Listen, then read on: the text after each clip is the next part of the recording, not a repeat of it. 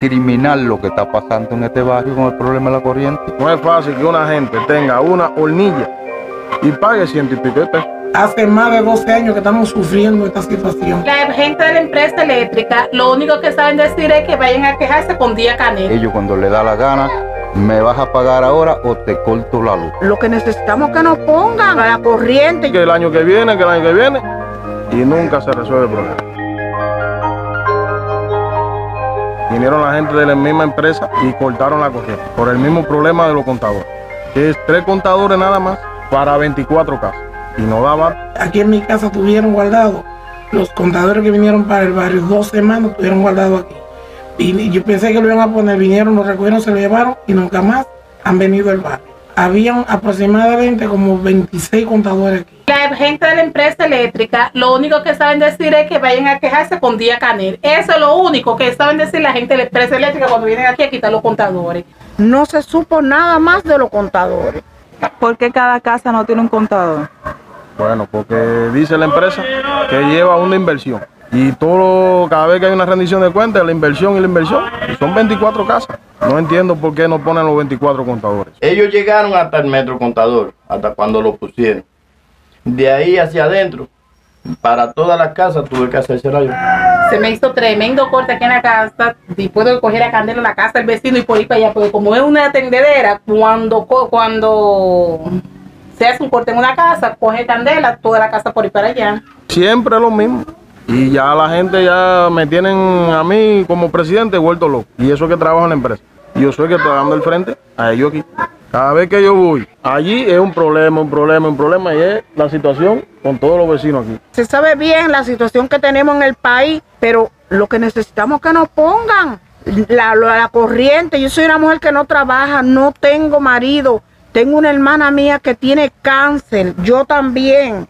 No es fácil, mira la cantidad de dinero que yo tengo que pagar ahora. Tengo que pagar 102 pesos con 90 centavos. Pagábamos 40 y pico, 60 pesos, lo más por cada casa. Ahora se está pagando 130 y pico, 119. Y la gente se están quejando.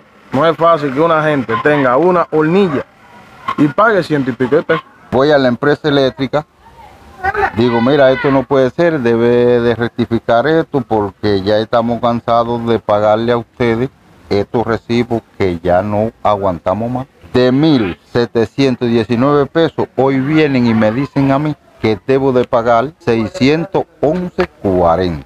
¿Por qué tú me das entonces en el, pro, en el mismo mes un recibo alterado y después tú vienes justificando otro recibo que no estamos de acuerdo con los 611.40 tampoco? Porque es criminal lo que está pasando en este barrio con el problema de la corriente. Todos los meses nosotros cuando no pagamos 50 y pico de pesos, 70 y pico de pesos, 100 y pico de pesos. Estos tres modelos fue el pago de cuatro meses que no se me dio el comprobante, que nos llegó los cuatro meses en, el, en el mismo mes. Que tuvimos que pagar cada casa 224,90 centavos. Hace más de 12 años que estamos sufriendo esta situación. Allá lo que nos plantean que entre más casas, menos se paga. Desconocemos el porqué de eso.